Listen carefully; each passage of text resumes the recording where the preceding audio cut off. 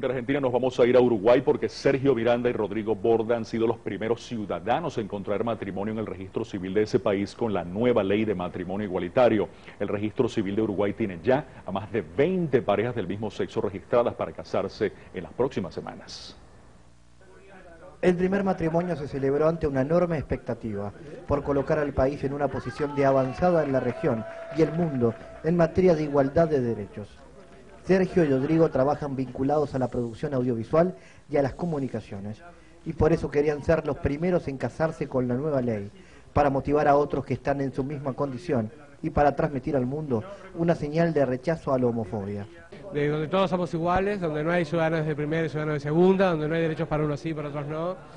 Y además este, un mensaje para la comunidad internacional, donde por suerte vivimos en un país donde nosotros nos podemos casar. La nueva ley es considerada como herramienta fundamental por quienes luchan desde hace décadas por la igualdad de derechos.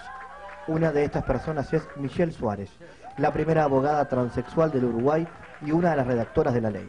Y lo que hace esta ley de alguna manera es empezar un camino donde por, bajo el principio de igualdad y de respeto al pluralismo reconocemos la heterogeneidad de la sociedad y de alguna manera la tomamos como una manifestación enriquecedora de ella misma. Creo que es un camino muy rico, el cual hay que seguir recorriendo. A la salida del registro civil todo fue algarabía. Todos quienes participaron de la ceremonia, de una o manera u otra, se fueron con la convicción de haber presenciado un hecho histórico. Para mí, un momento muy especial. Eh, obviamente la, la, repercusión mediática, nunca la había vivido una cosa igual. Hablábamos con mis colegas que nunca, nunca vivimos algo así en el registro civil. Después continuaron los festejos, en una ceremonia más familiar y descendida, en la que no faltaron el tradicional brindis y la torta de bodas.